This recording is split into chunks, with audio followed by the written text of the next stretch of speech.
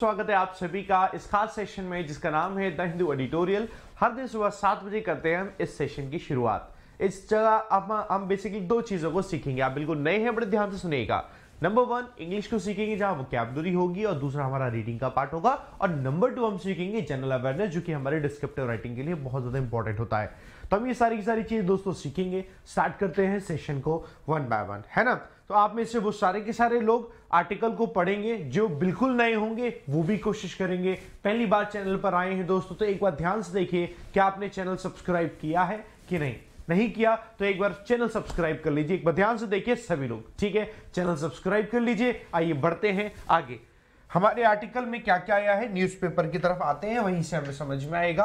आप क्या करेंगे newspaper? Simple the Hindu dot com लिखेंगे।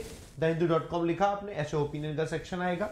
यहाँ ओपिनियन आके सेक्शन में ओपिनियन आते हैं, आप इनको पढ़ लेंगे। पहला है दोस्तों वार्निंग साइंस और a fresh India China face off basically क्या इंडिया चाइना में फिर से एक अभी बीच में क्या फेस ऑफ़ हुआ। फेस ऑफ़ का मतलब होता है एक तरीके का झगड़ा। अभी चाइनीज़ जो मिलिट्री है, वो ट्रूप यानी जो उसकी है, वो इंडियन बॉर्डर में उसने अंदर घुसने की कोशिश करी है फिर से। फिर से थोड़ा झगड़ा हुआ है। अभी डिस्कशन में लेकर आएँगे। इसमें बोल ये रहे हैं कि यार इंडिया ना शांत रहकर काम नहीं कर सकता है। डिस्कशन करेंगे, फिर क्या इसमें बात हो रही है? अगला है, बात हो रही है रिन्यूएबल एनर्जी के इस्तेमाल की एनर्जी कॉनड्रम में। अभी अगर हम रिन्यूएबल एनर्जी का इस्तेमाल कर लेंगे तो हम बहुत सारी जगह पर एनर्जी की सप्लाई कर सकते हैं, और आज जहाँ पर पूरे देश भर में बहुत सी जगह एनर्जी की कमी होने की वजह से हम बहुत सी फैक्ट्री से लेकर एम्प्लॉयमेंट के साधन ना हो पाने की वजह से बहुत सी चीज़ें कर ही नहीं पाते हैं, जिससे लोगों को समस्या रहती है। वो सारी सारी चीज़ें सुलझ सकते हैं डिस्कशन उस पर। अच्छा आर्टिकल है। आप देखो फिर इसके बाद अगला जो पढ़ने लायक आर्टिकल आपके सामने आता है। एक तो ये सेंसस का है। सेंसस का मतलब होता है दोस्तों कि आप जनसंख्या गणना देख रहे हैं कि पास्ट में 10 साल पहले 2011 की क्या थी, अब 2021 में हो नहीं पाई तो अब क्या होगी? ठीक है, बाकी हम लोगों ने पढ़ लिया था। आओ बाकी भी पढ़ सकते क्योंकि ये पॉलिटिकली इंक्लाइंड है, तमिलनाडु की इकोनॉमी को लेकर है। डिस्कशन करेंगे दोस्तों, समझ में आ गया ना क्या क्या पढ़ने वाले हैं हम लोग? तो वो कैबलरी पहले नोट करते तो मेरे साथ दोस्तों वो कैब नोट करेंगे, वहाँ से आपको सब समझ में आएगा, है ना? आइए वो क्या आप नोट करते जाएँगे दोस्तों मेरे साथ, आपको समझ में ही आता जाएगा। ये है आपके सामने। स्लाइड ठीक है? लिखो मेरे साथ दोस्तों। पहला वर्ड है आपके लिए ट्रांसग्रेशन बेसिकली ट्रांसग्रेशन का मतलब होता है जब एक व्यक्ति, जब एक व्यक्ति बेसिकली किसी प्रकार के नियम का उल्लंघन कर लेता है। कोई एक जगह ज़मीन है, उसकी बॉर्डर है, वो सीमा का उल्लंघन कर दे वहाँ पर, उसको क्रॉस कर दे। ये सब ट्रांसग्रेशन में ही आता है। हमने लिखा है यहाँ पर वर्ड की लास्ट में आई ओ एन है नाउन की तरह इस्तेमाल होगा, है ना? नाउन ये भी है an action that breaks a law or rule कोई एक ऐसा एक्शन जिससे कि कोई लॉ टूट रहा हो, कोई रूल टूट रहा हो, जिसे हम क्या कहते हैं? इनफ्रिंजमेंट कहते हैं वायोलेशन ऑफ़ लॉ कहते हैं वायोलेशन ऑफ़ कमांड होता है वायोलेशन ऑफ़ ड्यूटी होता है, इसी को हम कहते हैं ट्रांसग्रेशन क्या कहते हैं? ट्रांसग्रेशन नाउन की तरह दोस्तों इस्तेमाल हुआ है, ध्यान रखेंगे। अगले शब्द दोस्तों प्रिकेरियस लिखते जाइए सभी लोग वर्ड क्लास में ओ यूएस एडजेक्टिव की तरह इस्तेमाल होता है। लिख लो दोस्तों प्रिकेरियस जिसका मतलब होता है नॉट सेफ़ नॉट सर्टेन यानी कोई चीज़ जो कि डेंजरस है, उसी को हम कहते हैं प्रिकेरियस है। कोई चीज़ जो डेंजरस है, उसी को हम कहते हैं दोस्तों प्रिकेरियस है। अगला शब्द दोस्तों रेटिसेंस रेटिसेंस में देखो वर्ड के लास्ट में एनसी है तो ये नाउन की तरह इस्तेमाल होगा। रेटिसेंस जिसका मतलब है an unwillingness to do something or talk about something किसी बात, किसी चीज़ के बारे में बात करने की जो है इच्छा ना होना, उसको हम कहते हैं अनविलिंगनेस होना। बात करने की इच्छा ना होना an unwillingness to do something or talk about something उसको हम कहते हैं रेटिसेंस नाउन की तरह इस्तेमाल होता है, ध्यान रखेंगे। अगला शब्द दोस्तों यूनिलिटरली यूनिलिटरली है यूनिलिटरल आपका एडजेक्टिव होता है एलवाई लग गया, बन गया यूनिलिटरली तो यूनिलिटरल का मतलब होता है, कोई भी आप काम कर रहे हैं तो आप अपने हिसाब से कर रहे हैं। कहने का मतलब है इन अ वे एक ऐसा तरीका that involves doing or deciding something जिसमें आप कोई काम कर रहे हैं या डिसाइड कर रहे हैं विदाउट फ़र्स्ट आस्किंग और अग्रीइंग विद अनदर पर्सन जिसमें आप दूसरे से कुछ पूछ भी नहीं रहे हैं, दूसरे से उस चीज़ में सहमति भी नहीं ले रहे हैं। आपने अपने मनमाने ढंग से कर लिया, एक तरफा कर लिया तो एक तरफा करना, अपने मनमाने ढंग से कर लेना, अपने हिसाब से ही कर लेना, दूसरे को इन्वॉल्व ही ना करना, ये आपका यूनिलेटरल तरीका कहलाता है। तो वही हमने यूनिलेटरली लिखा ग्रुप और कंट्री मतलब बिना किसी ग्रुप बिना किसी कंट्री बिना किसी पर्सन के अग्री होकर, ना उसके द्वारा आपने पूछा भी नहीं, उसी को कहते हैं यूनिलिटरली एडवर्ब की तरह इस्तेमाल हुआ है। ठीक है? अगला शब्द है आपके लिए दोस्तों मोडस विवेंडी ये टर्म है दोस्तों, पूरा का पूरा एक साथ आता है हमेशा मोटस विवेंडी मोटस विवेंडी नाउन की तरह इस्तेमाल होता है, जिसका मतलब है एन अरेंजमेंट या फिर अग्रीमेंट एक प्रकार का अग्रीमेंट बनाया जाए बिटवीन पीपल लोगों के बीच में इंस्टीट्यूशन कंट्रीज़ इनके बीच में विद डिफरेंट ओपिनियन जिसमें अलग अलग ओपिनियन से to exist and work together ताकि वो एग्जिस्ट कर पाए, एक साथ काम कर पाए विदाउट डिसअग्रीइंग किसी भी प्रकार का फिर मतभेद ना हो। तो इस प्रकार के ऐसे किसी भी एग्रीमेंट को हम क्या कहते हैं? मोडस विविंडी याद रह गया? मोडस विविंडी बोल लो. बोलने से आपको याद रहता है मोडस विविंडी ऐसे याद रहेगा। अगला शब्द दोस्तों अनटीनेबल वर्ड क्लास में बी एल है एडजेक्टिव की तरह इस्तेमाल हुआ। अनटीनेबल भी ऐसा ही है, जिसका मतलब होता है specially of a position or view not able to be maintained or defended against attack or objection कोई भी ऐसा आ, किसी व्यक्ति का पोजीशन या व्यू जो कि मेंटेन नहीं हो पा रहा हो डिफेंड नहीं हो पा रहा हो किसी प्रकार के अटैक और ऑब्जेक्शन से कि कोई अटैक उस पर हुआ या ऑब्जेक्शन हुआ उस पर वो मेंटेन नहीं हो पा रहा हो डिफेंड नहीं हो पा रहा हो उसी को हम कहते हैं अनटीनेबल एडजेक्टिव की तरह इस्तेमाल हुआ है। अगला शब्द है कॉनड्रम कॉनड्रम में नाउन की तरह इस्तेमाल होता है दोस्तों। कॉनड्रम जिसका मतलब है एक confusing and difficult problem or question confusing difficult problem या फिर क्वेश्चन को हम कहते हैं कॉनड्रम पहेली हमने हिंदी में लिख दिया।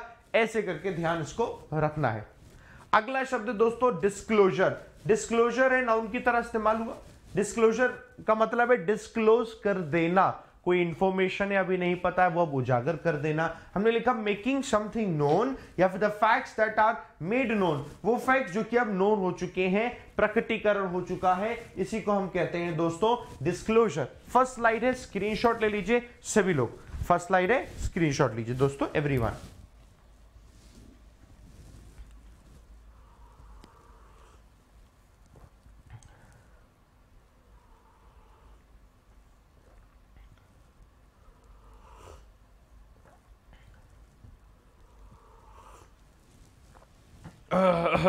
डन हो गया? हो गया डन सुबह सुबह उठ के चाय कितने लोग पीते हैं मुझे बताइए? चाय पीना बहुत गलत बात होती है। सच्ची? नहीं पीते ना? मना कर देना, सर, नहीं पीते। आओ नेक्स्ट स्लाइड पर आते हैं। वेरी गुड बहुत बढ़िया। तुम लोग कितने होशियार हो। एक बार अपने इमोजी बना बना के और दो थोड़ा इमोजी से पता चल पाता है, आपके भाव मेरे से जुड़ पाते हैं, मुझे समझ में आ पाता है। है अगला शब्द है दोस्तों हेड विंड अब ये हेड है। हेड के सामने विंड आ रही है। ये हेड विंड है। कहने का मतलब है a wind that is blowing towards a person or vehicle एक पर्सन चाह रहा है, सामने, उसके सामने से आ रही है। एक आपका व्हीकल जा रहा है, उसके सामने से आ रही है। ये आपका कहलाता है दोस्तों headwind so that it is blowing from the direction in which the person or vehicle is moving और ये किस डायरेक्शन से आ रही है? जहाँ से पर्सन और व्हीकल मूव कर रहा है, उसी को हम कहते हैं हेडविंड मैं ये चाय नहीं पी रहा हूँ। ठीक है? गलत फहमी मत लेना। ये दिख रहा है? पानी है मम्म चाय नहीं पीनी चाहिए। है इतना गर्म कि इसे चाय की तरह लग रहा लेकिन अब ऐसे से क्या होता है कि बोलने से बेटर रहता है। बोलते रहो बोलते रहो, बोलते तो गले में समस्या नहीं रहती। है ना? हाँ जी। अगला वर्ड है क्वेस्ट नाउन की तरह इस्तेमाल होता है, जिसका मतलब है a long search for something that is difficult to find है ना? काफ़ी मुश्किल भरी कोई चीज़ को ढूंढ रहे हो आप। लंबे समय से सर्च करो। उस लंबे समय की खोज को ही हम क्वेस्ट कहते हैं। अगला शब्द है टार्डी एडजेक्टिव की तरह इस्तेमाल होता है tardy which means slow to act move or happen slow to act slow to move slow to happen happening arriving after the plan expected or usual time कोई चीज़ हो रही हो प्लान टाइम जो है एक्सपेक्टेड प्लान टाइम है उसके तब हो रही हो एक्सपेक्टेड और यूजुअल टाइम उसी को हम कहते हैं टार्डी मतलब उसको थोड़ा दे, देरी से हो रही हो स्लो हो रही हो। उसी को हम क्या कहते हैं? टार्डी याद रखेंगे। अगला शब्द है इनक्रोच वर्ब की तरह इस्तेमाल होता है। इनक्रोचमेंट सुना है। अतिक्रमण सुना है। भाई ना कि सरकारी ज़मीन है लोगों ने छज्जे निकाल रखे होते अपने घर के सामने वहाँ पर। तो वो इनकरेजमेंट हो गया। सड़कों पर आ, सरकारी ज़मीन है तो फिर सड़कों सड़कों पर लोगों ने अपनी दुकानों को थोड़ा थोड़ा बढ़ा रखा है। तो वो थोड़ा थोड़ा इनक्रोचमेंट हो गया। यानी किसी की प्रॉपर्टी में आपने क्या इलीगली वहाँ पर एंट्री मार रखी है, वही इंक्रोचमेंट है। To use more of something than you should जितना आपको यूज़ करना चाहिए, उससे ज़्यादा अगर आप किसी चीज़ का इस्तेमाल हो रहा है, वो आपके लिए क्या एनक्रोच करना कहलाता है। ऐसे एनक्रोचमेंट का एग्ज़ाम्पल याद रहेगा। अगला शब्द दोस्तों पेनिशिया कहते हैं ना कि कोई बीमारी हो जाए, ये बीमारी, वो बीमारी, लेकिन कोई एक चीज़ दे देते हैं। बुढ़े पुराने लोग कई बार कहते हैं, ये लो, ये खाओ, ये रामबाड़ है। अब राम बाढ़ का मतलब है, राम भगवान का बाढ़ है, अब तो ये किसी को इससे बचेगा नहीं, सारे का सारे तुम्हारे ये दुख दर्द दूर हो जाएँगे। तो पेनेशिया का मतलब यही होता है, एक प्रकार की ऐसी दवाई जो हर प्रकार की बीमारी को मतलब निपटा दे। Something that will cure all diseases or solve all problems and difficulties a universal remedy है। उसी को हम कहते हैं पेनिशिया। ये आप दोस्तों नाउन की तरह इस्तेमाल होता है स्क्रीनशॉट लीजिए। ये आपकी सेकेंड स्लाइड है। और आप इसका स्क्रीनशॉट लीजिए। इसकी पीडीएफ डाउनलोड करने की टेंशन आप बिल्कुल मत लीजिएगा। पीडीएफ आपको मिल जाएगी इसकी टेलीग्राम पर। जैसे मैंने कल पीडीएफ दी थी सेम एज दोस्तों, पीडीएफ आपको आज भी मैं दे दूँगा। टेलीग्राम पर ज्वाइन करके रखना। टेलीग्राम के लिए डिस्क्रिप्शन में लिंक लगा हुआ है। एक काम कर देंगे दोस्तों मेरे साथ, क्या आप सेशन ने अभी तक शेयर नहीं किया है तो एक बार सेशन को शेयर कर दीजिए दोस्तों। आप जब सेशन शेयर करते हैं तो मैक्सिमम लोगों तक पहुँच पाता है सेशन और उससे क्या होता है बेनिफिट होता है, और भी बहुत सारे स्टूडेंट्स को मेरी पढ़ाने की जो रीच है, वो दोस्तों और लोगों तक पहुँचती है तो वो भी सीख पाते हैं। आइए दोस्तों, इस बार इसका आगे बढ़ते हैं। ठीक है, दस सेकेंड लगेगा, एक बार शेयर मार दो सभी लोगों के साथ, है ना? फ्रेजल वर्ब है दोस्तों, ये वो फ्रेजल वर्ब है जो कि कल के न्यूज़पेपर में आई, मैंने उसको लिख रखी हालाँकि एक वर्ड तो मैंने आज के न्यूज़पेपर का भी लिख रखा, पहला वर्ड विश्व आया। मुझे बड़ा समझ में आया, मैंने कल लिखवाना तो है है ना? आज ही लिख दे रहा हूँ। तो लिखते हैं दोस्तों, पहला वर्ड है विश्व पहले आर्टिकल में आया हुआ है। विश्व का मतलब होता है to cause something to stop or go away just by wanting it to stop or go away आप चाहते हो कोई चीज़ रुक जाए आप चाहते हो कोई चीज़ आपसे दूर हो जाए, आप चाहते हो अगर ये तो आप क्या, जब ये चाहते हो तो इस चाहने का कारण बनना, विश अवे करने का मतलब एक कारण बनना, किसी चीज़ का गो अवे होने का, किसी चीज़ के रुकने का, किसी चीज़ के रिमूव होने का। उसी उसी को हम कहते हैं विश अवे। उसी को हम कहते हैं दोस्तों, विश अवे। अगला दोस्तों आपके सामने दिया हुआ लेट डाउन लेट डाउन है फ्रेजल वर्ब, जिसका मतलब है fail to support fail to support support करने में असमर्थ हो जाना दैट इज़ लेट डाउन उसी को हम कहते हैं लेट डाउन फेल हो जाना सपोर्ट करने से। अगला दिया है दोस्तों tear O F F off tear off which means remove कर देना। रिप ऑफ़ करने का मतलब भी रिमूव कर देना। पुल अपार्ट मतलब खींच के अलग कर देना। पुल टू पीसेस यानी कि टुकड़े करके अलग कर देना।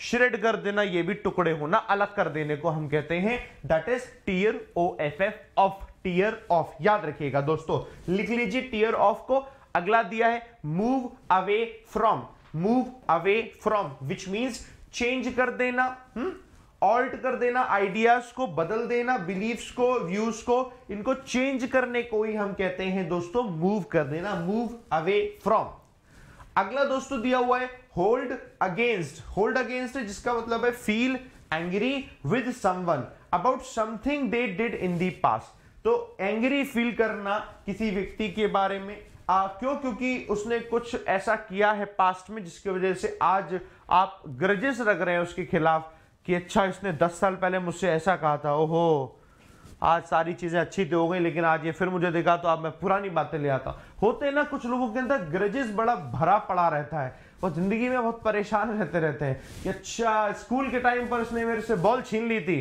आज ये मुझे मिला है लाओ। आज मैं मुक्का मार देता हूँ। तो लोग अपने ग्रजेस भर के रखे होते हैं। तो ऐसे लोगों के लिए ये है होल्ड अगेंस्ट ऐसा कभी मत करना दोस्तों। आओ स्क्रीनशॉट लो और आगे बढ़ो। कम ऑन स्क्रीनशॉट लो।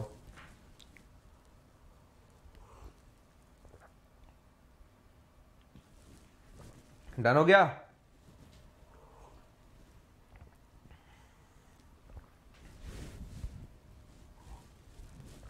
आइए। अब दोस्तों आगे बढ़ते हैं फ्रेजल वर्ब के बाद। ईडीएम्स एंड फ्रेजेस पे आते हैं। पहला ईडीएम है ले द बेस या फिर ले द फाउंडेशन किसी चीज़ का बेस रख देना या फाउंडेशन रख देना that means to make a start किसी चीज़ की शुरुआत कर देना।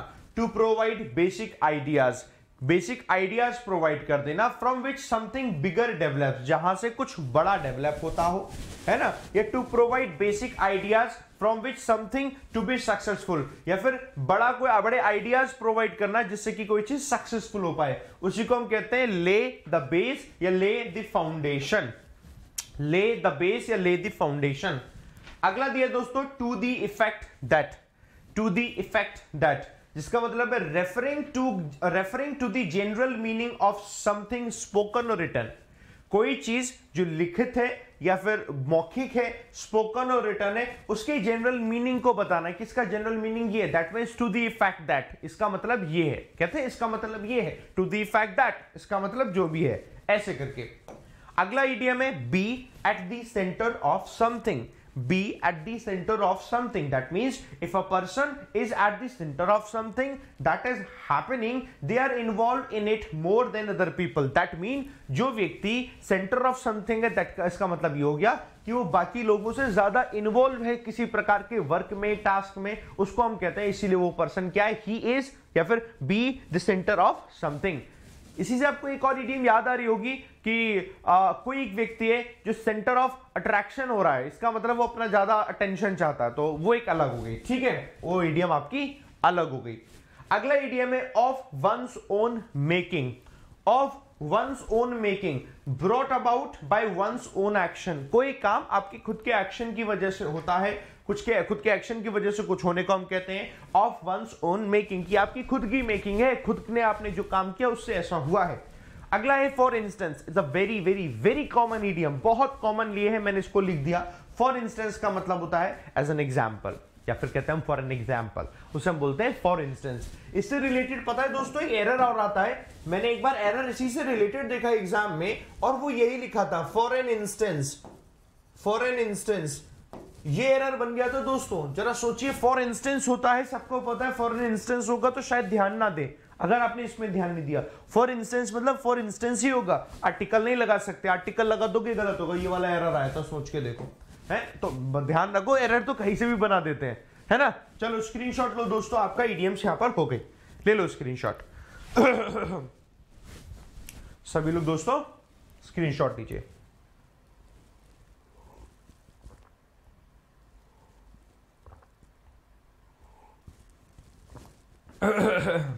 चलो डन हो गया। आइए, अब दोस्तों हम रीडिंग की तरफ़ आते हैं। रीडिंग करने के लिए वोकेबुलरी के यूजेस को ध्यान रखना है ग्रामर को ध्यान रखने की ज़रूरत भी नहीं है। मैं आप लोगों को बताता हूँ दोस्तों रीडिंग करते कैसे हैं, लेकिन उससे पहले आप में से सभी लोग जो मैथ रीजनिंग इंग्लिश तीनों को लेकर बड़े डाउट में रहते हैं, आप लोगों के लिए कल, यानी टुमारो का जो दिन है, बड़ा ही अच्छा शानदार दिन है। पूछो कैसे? क्योंकि कल आप लोगों के लिए एक क्लास होगी वो क्लास है मैराथन क्लास एक ये मैराथन होगी, जिसमें दोस्तों इंग्लिश मैथ्स और रीजनिंग इन तीन की क्लास होगी, लगातार क्लास होगी दोस्तों, ये क्लास कल करेंगे हम लोग। और इस क्लास को दोस्तों हम करेंगे अराउंड 12 घंटे तक की 12 आवर्स की क्लास होगी। आप में से सभी लोग, आप सब लोगों का स्वागत है। आप आराम से आइए इस 12 घंटे की मैराथन क्लास में पढ़िए। क्या पढ़ रहे हैं बारह बारह घंटे की मैराथन क्लास में। एग्ज़ाम है दोस्तों, सत्रह तारीख का। हा, सत्रह दिसंबर का एग्ज़ाम है। S B I PO pre वाले स्टूडेंट्स के लिए। ये जो एग्ज़ाम है दोस्तों, इस एग्ज़ाम को लेकर हम लोग पढ़ रहे होंगे। जो भी आपने पढ़ाई करी अब तक, वो सारी पढ़ाई को ध्यान रखना बहुत ज़रूरी है। इसलिए एक रिवीजन करवा दूँगा मैं पूरा इंग्लिश का, ऐसा तगड़ा रिवीजन कि आपको सब वो चीज़ जो आपने कभी भी थोड़ी पढ़ी होगी, बस वो आपके दिमाग में ऐसे सेट हो जाए, ताकि एग्ज़ाम में आप उसे कर पाओ। मेरा इतना काम है कि आपको मैं मजबूती से हर वो चीज़ याद दिला पाऊँ, ताकि वो आपसे ना कहीं से छूट ना जाए। होता है ना कि एग्ज़ाम में गया और आपको लग रहा है, यार, मैंने पढ़ा तो था, लेकिन मेरे दिमाग में नहीं आ रहा। बस ये चीज़ किसी की फीलिंग अंदर दिमाग में ना आए, बाकी जिसने जितना पढ़ा वो करके आएगा पेपर है ना? तो कल करेंगे। अब ये जो कल है not only for S B I PO ये अब एग्ज़ाम सिर्फ़ आपने नहीं दिया एस बी आई पीओ का फॉर्म नहीं भरा आप भी दो ना। आप भी पढ़ो पूरा, पूरे दिन पढ़ो ना बारह घंटे। पूरे दिन पढ़ो बढ़िया फ़र्स्ट क्लास अब पढ़ेंगे कब? कल दोस्तों ये क्लास होगी सुबह नौ बजे से। नाइन एम से हमसे क्लास करेंगे। रात के नौ बजे तक क्लास रहेगी। आप मेरी बात समझेंगे नाइन एम से नाइन पी की इस क्लास में। दोस्तों, ये बारह घंटे की क्लास में सबसे पहले आप मैथ पढ़ रहे होंगे नौ बजे से, फिर रीजनिंग पढ़ रहे होंगे, फिर इंग्लिश पढ़ रहे होंगे। हम इस तरीके के पैटर्न में पढ़ रहे होंगे, एक डेढ़ घंटे की क्लास फिर एक डेढ़ घंटे की क्लास फिर एक डेढ़ घंटे की क्लास बीच बीच में पाँच पाँच दस दस मिनट का ब्रेक भी ले रहे होंगे तो आप उसकी बिल्कुल चिंता मत करिएगा। ठीक है? और ये किसी एक चैनल पे कर रहे होंगे तो ये कर रहे होंगे दोस्तों मैथ्स बाय अरुण सर वाले चैनल पर। तो डिस्क्रिप्शन में लिंक लगा हुआ अदरवाइज़ एक बार चेक कर लेना, लिखना maths by Arun sir channel मिल जाएगा अरुण सर वाला? उसको सब्सक्राइब कर लेना। आपका जो वीडियो का आ, वो होता ना इवेंट इवेंट भी आपका लग जाएगा। एक दो घंटे में आप देखोगे लग जाएगा। ठीक है? कल लेकिन नौ बजे के लिए रेडी रहना। ठीक है? सबको इंफॉर्मेशन पता चल गई। कितने लोग आएँगे मुझे बताओ? कि सर आएँगे बिल्कुल? एक बार मुझे बताओ कि जी सर बिल्कुल आएँगे। ऐसी क्लासेस पढ़ने में मज़ा आता है बहुत और ऐसी क्लासेस में बहुत कुछ सीखने को भी मिलता है। सब लोग बताओ कितने लोग आओगे? सभी आएँगे ना? बहुत बढ़िया कितनी अच्छी बात है। बहुत बढ़िया। कल बाकी सारी क्लासेस को छोड़कर आपको ये क्लासेस देखनी है। कल मैं भी नहीं आपको बाकी क्लासेस पढ़ाऊँगा। समझ रहे मेरी बात? आइए। वार्निंग साइन पढ़ते हैं दोस्तों वार्निंग साइन की बात क्या कह रहे हैं? आपको मालूम है 2020 की बात थी इंडिया और चाइना के बीच में स्टैंड ऑफ़ हुआ झगड़ा हुआ था जिसमें हमारे कई सारे जवान जो थे शहीद हो गए थे और चाइना की तरफ़ से भी मिलिट्री कई सारे लोग थे वो मारे गए थे। अच्छा वो झगड़ा था, बढ़ता रहा, फिर रुका। रुकने के बाद बायोलिटरल काफ़ी बार मतलब टॉक्स भी हुई बट उन टॉक्स में कोई खास सोल्यूशन निकला नहीं। रिसेंटली टॉक्स हुई, इसमें थोड़ा बहुत सोल्यूशन निकला था बट नॉट ऐसा कोई मतलब ऐसा नहीं था जैसे हम कहते कंसीडरेबल सोल्यूशन हैं। तो हुआ क्या दोस्तों उसके बाद से? अभी हम लोग देख रहे हैं एक बार फिर से चाइना की जो मिलिट्री है कुछ कुछ जगह पर उसने अंदर घुसपैठ करने की कोशिश करी। आप लोगों ने ट्विटर पर या फिर यूट्यूब पर भी अलग अलग जगह उस वीडियो को देखा होगा न्यूज़ चैनल पर ही वीडियो को देखा होगा। यहाँ से अपनी मिलिट्री है, वो ऐसे मार रही है, वो कटीले तार है, वहाँ से वो उधर भी है। है ना? ये क्या हुआ है? इंडिया अभी शांत क्यों है इन सब चीज़ों पे? कुछ स्टेप क्यों नहीं ले रहा? कुछ कह क्यों नहीं रहा? ये सब बातें यहाँ पर कह रहे हैं। तो आप बड़े ध्यान से सुनना दोस्तों, ठीक है? वार्निंग साइन है on a fresh India China face off फिर से एक फेस ऑफ़ हो रहा है फेस ऑफ़ वही झगड़ा। झगड़े का वार्निंग साइन है। के not wish away the situation on the Chinese border by staying silent शांत रहकर चाइनीज़ बॉर्डर पे जो सिचुएशन है, उसको इंडिया विश अवे नहीं कर सकता, उसे रोक नहीं सकता, उसे खत्म नहीं कर सकता रिमूव नहीं कर सकता, शांत रह के नहीं कर सकता। तो हमें क्या करना पड़ेगा? कुछ स्टेप लेने पड़ेंगे। तो उनकी बात पर देखो, यहाँ पर दी हुई है। ठीक है? देखो। Another attempted transgression by the Chinese military एक और कोशिश की गई है चाइनीज़ मिलिट्री के द्वारा ट्रांसग्रेस करने की। है ना? इसको उन्होंने अनुपालन नहीं किया, तोड़ने की। दिस टाइम ये हुआ है in the Tawang sector in the eastern section of the India China boundary में। Has served a reminder of the precarious state of affairs ये बताता है कि फ़िलहाल बड़ी डेंजरस स्थिति बनी हुई है along the LAC that is line of actual control उसको हम लाइन ऑफ़ एक्चुअल कंट्रोल कहते हैं इनके बॉर्डर को। ए क्राइसिस विच बिगेन ये क्राइसिस जो शुरू हुई थी अप्रैल का महीना 2020 में विद पीएलए ट्रांसग्रेशन है ना? पीएलए ट्रांसग्रेशन पीएलए चाइना की वो पॉलिटिकल सरकार को ही बोलते हैं। तो उसका ट्रांसग्रेशन हुआ था लद्दाख में in the western sector of boundary में has now appear to have widen अब वो चीज़ बड़ी प्रतीत हो रही है इन अरुणाचल प्रदेश तक में। घुसने की पूरी उनकी साजिश है, कोशिश है। डिफेंस मिनिस्टर अब हुआ क्या? हमारी तरफ़ से क्या स्टेटमेंट कैसा कैसा? Defence minister Rajnath Singh said in parliament that the Indian army had force the PLA to return to its post Indian army ने उन्हें फोर्सफुली भेज दिया अपनी अपनी पोस्ट पे चाइनीज़ मिलिट्री को पीएलए को. The minister's comments on December 13 came four days after the incident details of which चार दिन बाद इंसिडेंट होने के बाद ये उनका स्टेटमेंट आया था। यानी नौ तारीख की बात रही होगी। डिटेल्स ऑफ़ विच जिसकी जो डिटेल्स हैं वर फ़र्स्ट रिपोर्टेड पहले वो द हिंदू को मिल चुकी थी ऑन डिसंबर 12 को। And army statement confirm the clash और एक आर्मी का स्टेटमेंट आया। उस स्टेटमेंट से पता भी चल गया कि हाँ ये क्लैश हुआ था। ऑपोजिशन इंडिया में पॉलिटिकल पार्टी की जो ऑपोजिशन है विच हैज़ क्रिटिसाइज जिसने क्रिटिसाइज किया the Narendra Modi government continue reticence लगातार शांत रहने को ऑन चाइना बॉर्डर इशू पर। Stage a workout after being denied a discussion और ये इसलिए क्रिटिसाइज किया क्योंकि डिस्कशन ही इस चीज़ पर नहीं हुआ वर्कआउट करके चले गए छोड़ के। तो असल में क्या है दोस्तों, ऐसे काम नहीं चलेगा कि हमारे देश में कोई भी लीडर है, उस पर डिस्कशन ना करे वर्कआउट करके चला जाए। ऐसे काम चलेगा क्या? नहीं चलेगा। आज जब आपको न्यूज़ समझ में आती है कि यार ऐसा हो गया तो आपको अपने अंदर से भी कई बार गुस्सा आती होगी, यार हम कुछ करते क्यों नहीं है? हम उन्हें खत्म क्यों नहीं कर देते? या हम आगे की कोई बात डिस्कशन बढ़ाते क्यों नहीं है? असल में क्या होता है, ये चीज़ें हो रही होती हैं बट इसका कोई जब तक फ्रूटफुल रिज़ल्ट नहीं निकलता, तब तक कोई मायने रखता नहीं है कोई चीज़। बट कई बार ऐसा भी होता है कि कुछ बातें मीडिया में आती ही नहीं है। डिस्कशन करने की कोशिश होती है, लेकिन आती नहीं है। बट हाँ अगर कहीं कोई झगड़ा हो रहा है तो वो तो देखो ध्यान रखने वाली बात है, क्योंकि ये प्रॉब्लमैटिक है। ये फिर खतरनाक बन जाती है। बनती है ना? As troubles now flare in Arunachal. Arunachal Pradesh में जो ट्रबल्स हैं, वो बढ़ गए हैं, परेशानी। The situation in Ladakh still remains unresolved Ladakh में सिचुएशन अभी भी अनरिजोल्व है। India is yet to resume patrolling India अभी पेट्रोलिंग करना शुरू करने वाली है। अभी इस दोनों तरफ़ की डीमिलिटराइजेशन हो चुका था बॉर्डर पर, कि वहाँ की मिलिट्री अलग, यहाँ की मिलिट्री अलग। कोई मिलिट्री वहाँ पर बॉर्डर पे नहीं थी। और पेट्रोलिंग भी कोई नहीं करता। पेट्रोलिंग का मतलब होता गश्त लगाना चेक करते रहना, कोई अंदर तो नहीं घुस रहा कोई ध्यान रखते रहना, बहुत ज़्यादा। इसे पेट्रोलिंग कहा जाता है। सब एकदम शांत हो गया था, लेकिन फिर से अब क्या है? कोशिश अभी है कि इंडिया क्या पेट्रोलिंग करना शुरू करने वाली है। In any of the five disengagement areas में वेयर टेम्पररी जो buffer zone temporary buffer zone establish किए गए।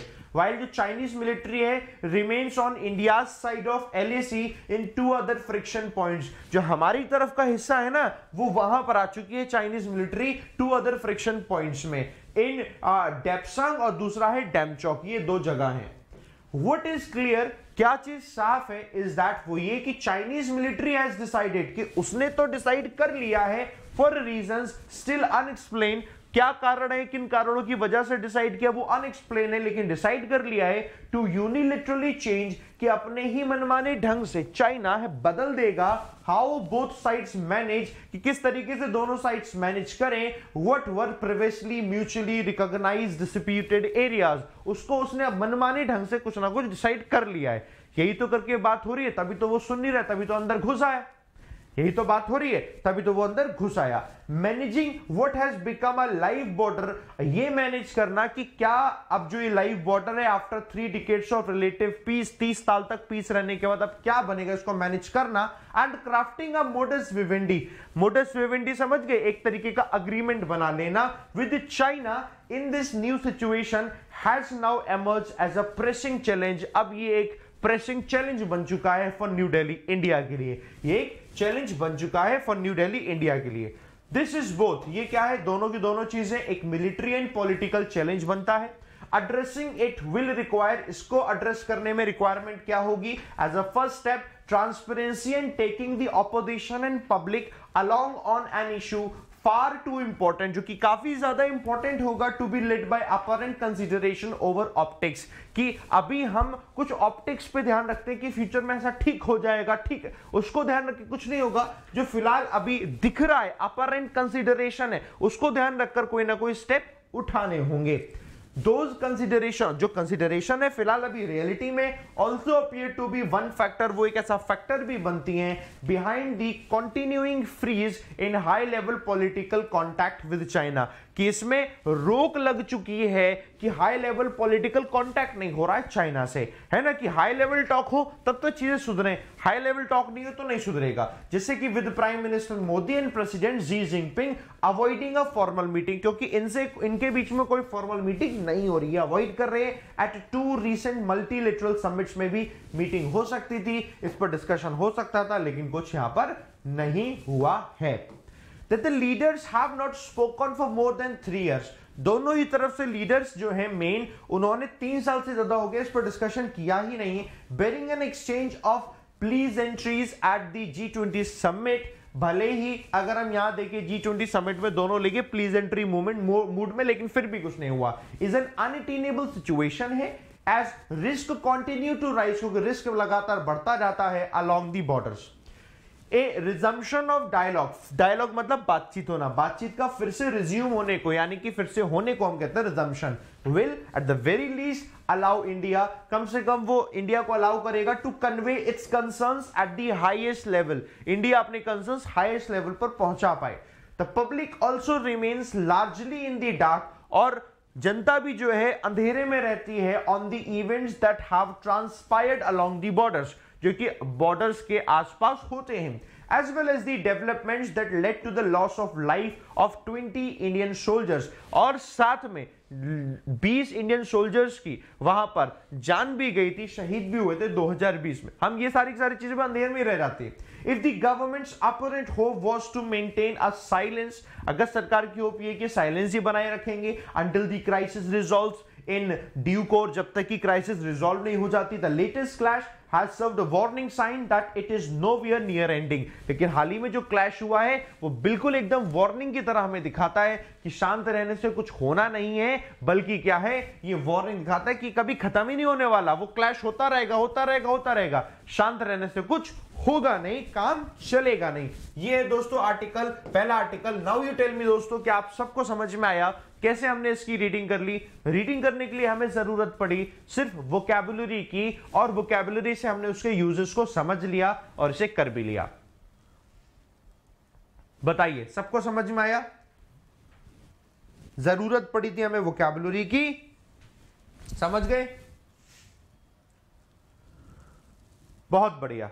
आइए दोस्तों, अब हम बढ़ते हैं आगे। ठीक है? अब अपना अपना एक एक काम कर देंगे जल्दी से। सेशन अच्छा लग गया है अभी तक। लाइक बटन पे प्रेस करके बता दो। जी सर सभी लोगों के लाइक बटन पे प्रेस कर दो जल्दी से। सेशन अच्छा लगता है थम्स अप ज़रूर दिया करो। मैं आप सब लोगों से पता है कमेंट की भी उम्मीद करता हूँ कि आप कमेंट करते हैं ना तो पता चलता है कि असल में आपको समझ आ रहा है तो आप लिखो सर, समझ में आ रहा है आर्टिकल में ये समझ में आया। जो नहीं समझ में आ रहा वो भी लिखो। कि सर, ये नहीं समझ में आया। क्या आपको चाहिए और वो भी लिखो बट कमेंट में लिखो। पहला आर्टिकल हो गया वार्निंग साइन दूसरा एनर्जी कॉनड्रम इसे पढ़ते हैं। कॉनड्रम का मतलब हमने पढ़ा था ना, पहेली होती है, उसे कहते हैं कॉनड्रम अब तो ठंडा हो गया पूरा पानी।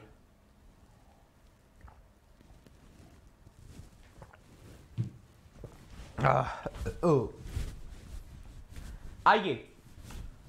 एनर्जी कॉनड्रम एनर्जी को लेकर अभी क्या है, पहेली बनी हुई है, on India betting big on solar power.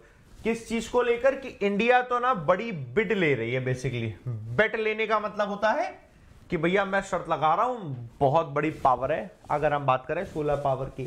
So solar power is important for India India के लिए इंपॉर्टेंट है but it will not serve every energy need लेकिन हर वो ज़रूरत जो एनर्जी की होती है, वो ये सर्व नहीं कर पाएगा। ये ऐसा कह रहा है, अभी फ़िलहाल के लिए। और कर पाए तो यार तो बहुत अच्छी बात हो गई। कितने लोग ऐसे हैं जो किसी ऐसे कॉलेज में पढ़ते हैं जहाँ पर दोस्तों सोलर पावर प्लांट लगा हुआ है और वहाँ सोलर एनर्जी से उनके कॉलेज के स्कूल के पंखे जो हैं या कूलर जो हैं एसी जो हैं, चलते हैं। है ना? ऐसे बहुत सारे अपने देश में स्कूल्स हैं कॉलेजेस हैं यूनिवर्सिटी के अंदर हैं, जहाँ पर सोलर पैनल लगाए हुए हैं। वो डेमो के तौर पर वो ठीक ठाक काम कर रहे हैं। बट ऑब्वियसली वो बहुत अच्छे लेवल पे काम अभी नहीं कर रहे हैं। शायद उसके लिए पैनल बहुत बड़े लेवल पे लगाना पड़ जाता है। है ना? बट ऐसे बहुत सारे लोग होंगे, आप जरा आपको पता होगा, जरा बताइएगा। आप लोग एक बार बताइए मुझको।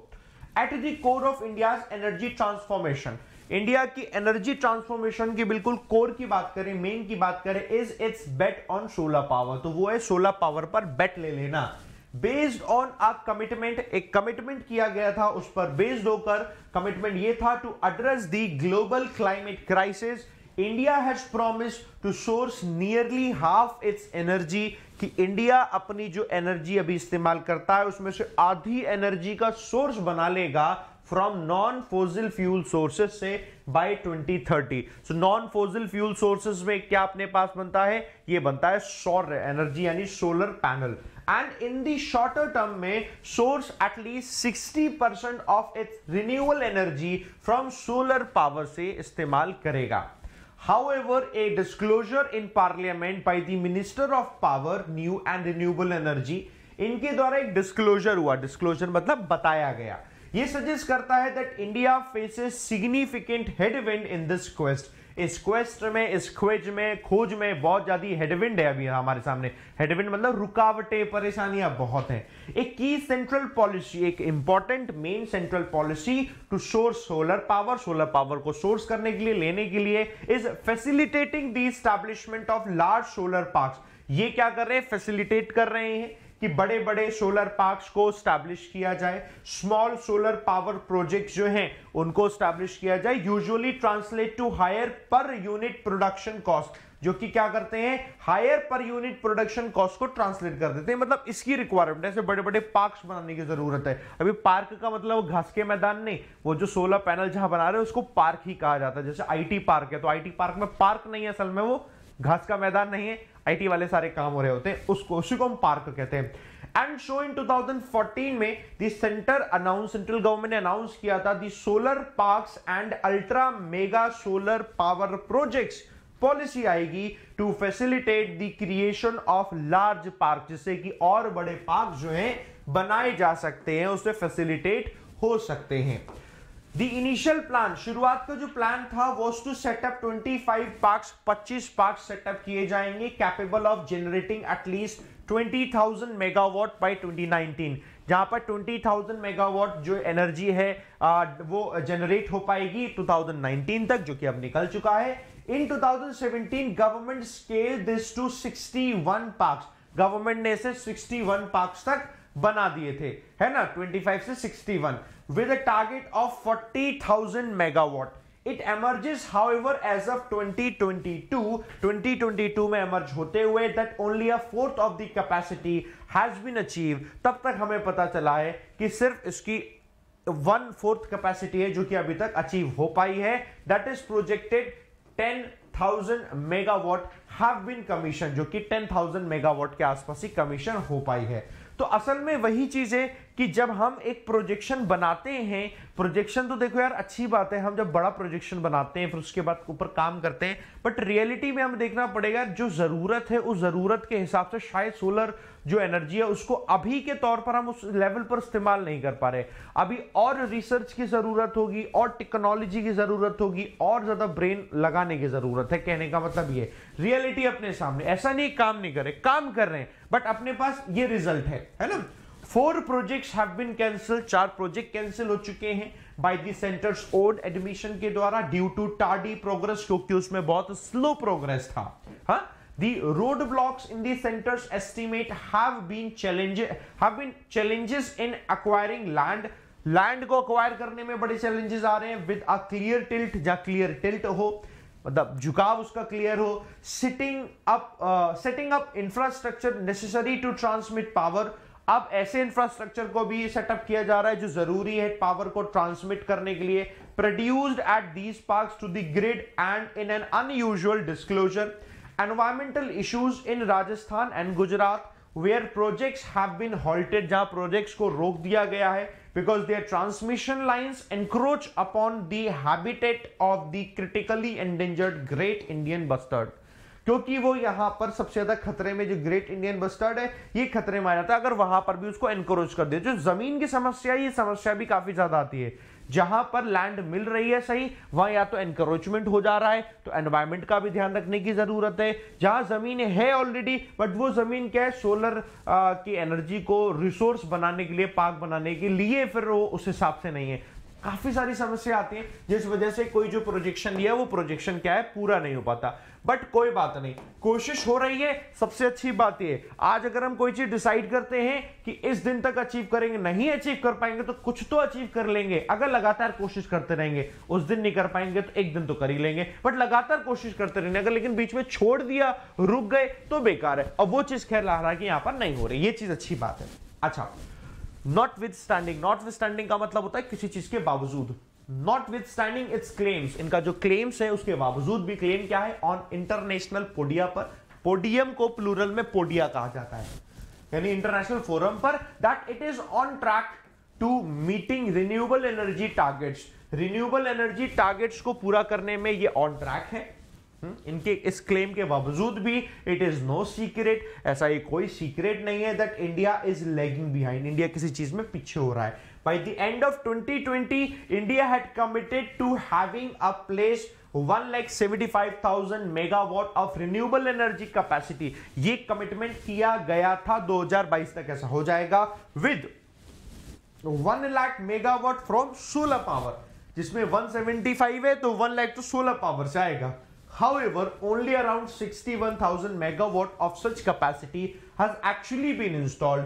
But कोई बात नहीं 1,75,000 मेगावाट सोचा गया था जिसमें से 61,000 मेगावाट फ़िलहाल के लिए अभी है जो कि इंस्टॉल हो रखा है for a few years now अब से कुछ वर्षों तक there has been considerable hype काफ़ी ज़्यादा हाइप रही है around solar power achieving grid parity grid parity in India India में जो ग्रिड की कमी है, उसको ये पूरा कर देगा solar power meaning power companies जो हैं are able to sell it at a price lower या तो इसे लोअर प्राइस पे सेल कर पाएँगी और as much as conventional sources या फिर जैसे कन्वेंशनल सोर्सेज है, उस पर सेल कर पाएँगी. But this does not account for the subsidies लेकिन ये ऐसा नहीं होगा कि सब्सिडीज से मिलेगी या फिर कंसेशन होगा front loaded by the government ऐसा नहीं होगा। सीधा जो पावर कंपनीज़ है वही पे करके देंगी। क्योंकि आज के टाइम पर अगर आप सोलर पैनल को सोचो, खुद के लिए लगा लो तो सोलर पैनल में जितना आपका खर्चा आएगा, उस हिसाब से आपकी यूजेबिलिटी नहीं हो पाती है। तो लोग बिजली जो आती है, उसको खर्च करना पसंद करते हैं, फ़िलहाल के लिए जो टेक्नोलॉजी अपने पास में। ये चीज़ है। बट ऐसा सोचा गया था, बट कोई बात नहीं नहीं हुआ तो। While India should continue to expand India को क्या करना चाहिए? लगातार एक्सपेंड करते रहना चाहिए। Its economy on the back of renewable energy The government must take a hard look at whether renewable power government को इस पर बहुत सख्ती से ध्यान रखना चाहिए कि जो रिन्यूएबल पावर है सोलर विंड और न्यूक्लियर है meet standards of economic viability economic viability के हिसाब से कुछ उल्लंघन ना हो, उसके हिसाब से काम हो एनवायरमेंटल सस्टेनेबिलिटी को भी ध्यान रखकर काम हो। Solar power may be a valuable tool हो सकता है वैल्यूबल टूल हो in India's energy transformation story में but it can not be the panacea for every need लेकिन ये हर एक नीड के लिए पेनिशिया नहीं है। कहने का मतलब है, हर एक समस्या का समाधान नहीं है। ये कहने का मतलब है। तो अभी हम लोगों ने पढ़ लिया। फ़िलहाल अभी सिचुएशन क्या चल रही है? इंडिया में जो कि सोलर पैनल की हो रही है। मेरा गला एकदम बैठता चला जा रहा है। फ़िलहाल अभी सिचुएशन क्या है? सोलर पैनल की, वो हम लोगों ने देख लिया। और आर्टिकल को हम लोगों ने देख लिया। आर्टिकल आपको समझ में आ गया है। सभी को मुझे बताएँ। यस सर समझ में आ गए तो आर्टिकल हम लोगों ने पढ़ ली। अब मैं आपको होमवर्क का आर्टिकल देता हूँ, ठीक है? हमें दोनों चीज़ें पढ़ते जानी है, बढ़िया। होमवर्क में आगे ओपिनियन पे आएँगे टैप करेंगे। Warning sign on fresh India China ये हो गया, ये हो गया। देखो। Census as a mirror of past and present जो सेंसस होता है, वो मिरर दिखाता है पास्ट और प्रेजेंट का। सेंसस में पता है क्या क्या पता चलता है? हम ये नहीं कहते कि सेंसस में हमें सिर्फ़ ये पता चल जाता है कि जनगणना कर ली, कि पहले लोग जो की संख्या थी वो इतनी है, इतनी थी और अब इतनी है, सिर्फ़ इतना नहीं। हमें यह भी पता चल जाता है सेंसस में कि पहले लोगों की संख्या इतनी थी, जिसमें से इतने प्रतिशत लोग ऐसे थे जो कि गरीबी रेखा से भी नीचे हैं, इतने प्रतिशत ऐसे थे जो गरीबी रेखा में, इतने प्रतिशत ऐसे थे जो एलिट है, और अब उनमें प्रतिशत क्या हो रखा है? हमें यह भी पता चलता है। हमें यह भी पता चल जाता है साथ के साथ उसमें कितने लोग एम्प्लॉयमेंट इनके पास है, किनके पास है ऐसे बहुत सारा डेटा होता है जो सरकार ना कवर कर रही होती है। तो काफ़ी कुछ डेटा हमें पता चल रहा होता है। तो इसी की बात करें, ये एक मिरर एक आईना होता है हमारे पास्ट का भी और प्रेजेंट का भी। तो फ़िलहाल अभी हमारे पास की कुछ चीज़ें दी गई हैं और स्टडी है तो जरा एक बार पढ़ोगे तो रीडिंग करके आपको समझ में आएगा हमारे सेंसस को लेकर। This is only the article you need to read और कुछ आपको रीड नहीं करना है, ठीक है? सबको समझ में आ गया, यहाँ तक तो मुझे बता दी। यस सर समझ में आ गया। साथ में, आपको आज क्या नहीं समझ में आया, मुझे आप कमेंट करके बताइए। आपको आज और क्या चाहिए वो मुझे बताइएगा। इंग्लिश पढ़ने के लिए अभी फ़िलहाल मैंने रोक रखा था, क्योंकि अकेडमी पर क्लासेस चल रही थी। और अब कल हम पूरा दिन करेंगे मैराथन क्लासेस तो मैराथन क्लासेस के लिए दोस्तों, आप पूरी तरीके से रेडी रहेगी ठीक है मैराथन क्लासेस आपको करनी है। ठीक है? तो उस मैराथन क्लासेस के लिए पूरी तरीके से रेडी रहेगा। साथ के साथ दोस्तों, आज आपको क्लासेस लेनी है तो आज की क्लासेस भी आपकी यहाँ पर जो लोग ऑलरेडी अन अकेडमी पढ़ रहे थे, उनकी क्लासेस हैं। एक तो क्लास आपके दोस्तों, दस बजे चलती है टेन ए पर एफसीआई की। नाइन ए पर दोस्तों स्पेशल क्लास लगी हुई है, आप देखेंगे, कल किसी कारण की वजह से नहीं लग पाई थी। उसके बाद ग्यारह पंद्रह से क्लास लगी हुई है एक, ठीक है? और, उसके बाद दोस्तों दूसरी क्लास लगी है डेढ़ बजे से, ठीक है? पढ़िए बढ़िया तरीके से कोई दिक्कत, समस्या आए, बताइए। ठीक है? पढ़िए बढ़िया तरीके से कोई दिक्कत, समस्या आएगा तो बताइएगा चलिए सेशन करते हैं, खत्म। अच्छा लगा है तो लाइक बटन पे कर दीजिए प्रेस डिस्क्रिप्शन में लिंक दिया हुआ है। आप लोग टेलीग्राम ज्वाइन कर लेना पीडीएफ वहीं से आपको मिल जाएगी। बाकी मुझे अगर आप मुझसे सोशल मीडिया पर नहीं जुड़े हो तो सोशल मीडिया पर जुड़ जा रहा मेरा नाम ढूंढ लेना, विशाल परिया यू विल फाइंड मी आप लोग जहाँ पर नहीं हो, वहाँ पर मिल जाना। इंस्टा पे नहीं हो इंस्टा पे आ जाना। ठीक है? टेलीग्राम पे नहीं हो टेलीग्राम पे आ जाना। फेसबुक पे नहीं हो फेसबुक पे आ जाना यूट्यूब चैनल सब्सक्राइब कर लेना. थैंक यू वेरी मच जय हिंद, जय भारत. Thank you